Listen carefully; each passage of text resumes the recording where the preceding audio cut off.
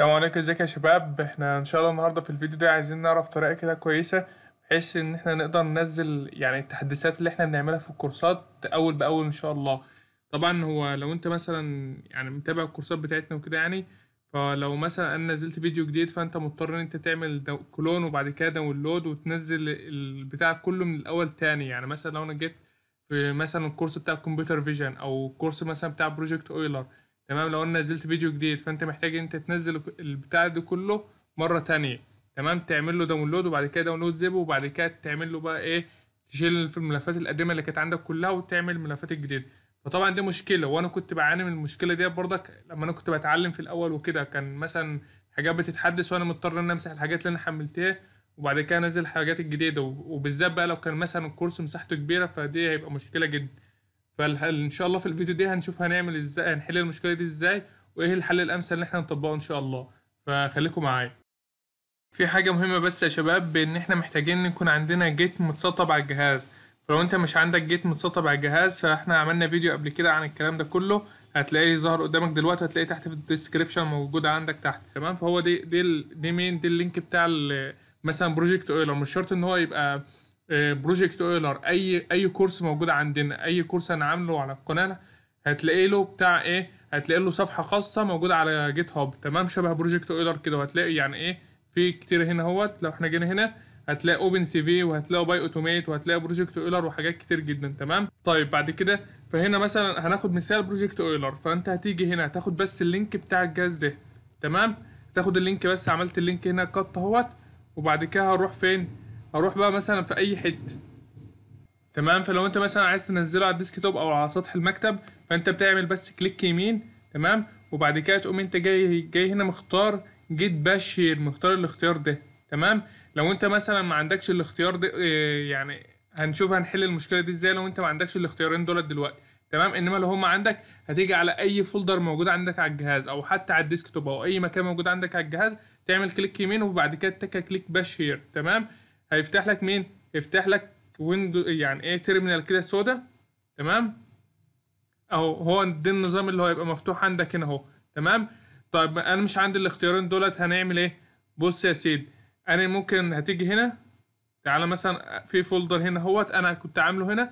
في folder فاضي أهو. تمام؟ أو في أي folder عندك على الجهاز. فتعمل إيه؟ هتيجي عند الجزء اللي موجود فوق هنا أهوت وتتك CMD اكتب بس CMD فوق هنا كده. تمام؟ وبعد كده هتعمل إيه؟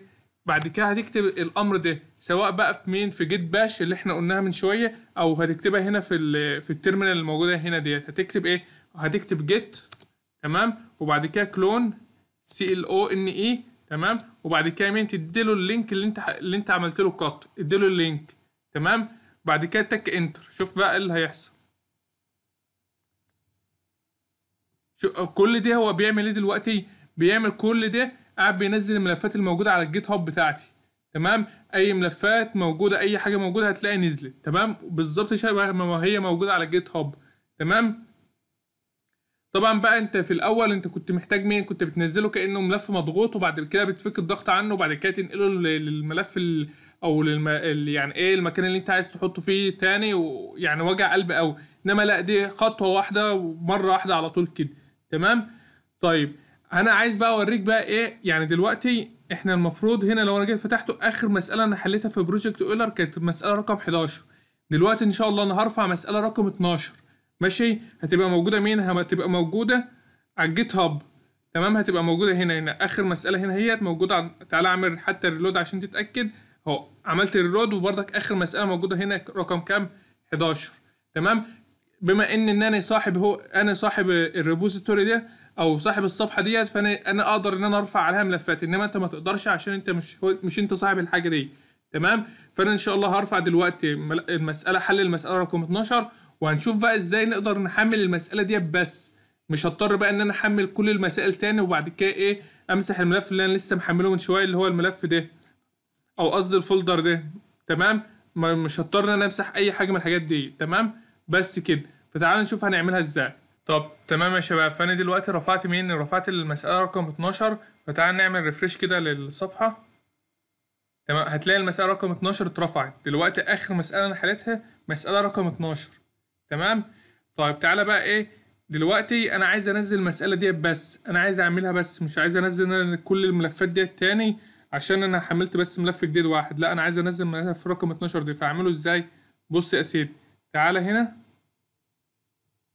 هن أول حاجة أنت موجود فين؟ إحنا موجود في ال test زي ما إحنا أهو. هنقول له سي دي تمام؟ شوف اسم ال project اسمه Project Euler تمام؟ أهو. وبعد كده نقول له إيه؟ git pull في حاجة مهمة بس يا شباب إن إحنا لازم نبقى إحنا عملنا السي دي ديت ليه؟ عشان إحنا لازم نكون جوه ال folder اللي إحنا حملناه من ال GitHub. عشان ال Git Git إيه، يقدر إن هو ينزل ملف صح ويقدر يعني إيه؟ يعرف هو ينزل الملف دي منين بالظبط تمام؟ حاجة كمان إن إحنا ليه استخدمنا git pull؟ ليه اسمها pull؟ pull دي معناها بالعربي اسحب. فكأننا بن يعني إيه؟ فكأننا بنسحب الملفات الموجودة على ال GitHub على الجهاز بتاعنا باستخدام Git. تمام؟ ف pull معناها اسحب. أهو شوف مسألة رقم 12 هي نزلت أهي. ديت المسألة رقم 12 تمام؟ طبعا قبلها ما كانش في مو- موجود مسألة رقم 12 كانت آخرنا 11 دلوقتي نزلت. تمام؟ وتمام؟ واخد بالك السرعة يعني في ثانية هو ما خدش حاجة هو كل اللي حمله بس راح جاي يحمل بس الجزء اللي هو مين؟ هو لو جه حمل قال لك حملت رقم 12 الفول ال file ده وال file ده بس تمام؟ وبالتالي ساب كل الحاجات اللي هي كانت متحمله قبل كده. فدي طبعا هيوفر عليك جهد كتير جدا وبالتالي طبعا إن شاء الله أنت هتفضل إيه تبقى مركز معاه برضك في الكورسات والكلام ده بحيث أي حاجة جديدة تنزل تقدر أنت تتابع معايا بسرعة ما تضطرش إن أنت مثلا تستنى لحد ما أخلص الكورس كله أو ال playlist كلها. وبعد كده تبدأ انت تشتغل. لا انت مثلا خليك مركز معايا في الفيديوهات وخليك متابع وأي فيديو هينزل أو أي ما يعني أي حاجة جديدة تنزل تبقى تنزلها على طول من ال GitHub شبه ما وريتك كده. يا دوبك بتعمل بس git clone وتديله ال link بتاع ال GitHub وبعد كده لو أي حاجة جت نزلت تمام تعمل git pull. طب طب أنا كل لازم بقى إن أنا أفتح كل مرة كده البتاع ديت ال- البتاع ال link بتاع ال GitHub على Google Chrome عشان أشوف أنت نزلت حاجة جديدة ولا لأ. لأ أنت ممكن تعمل بس git pull أهو.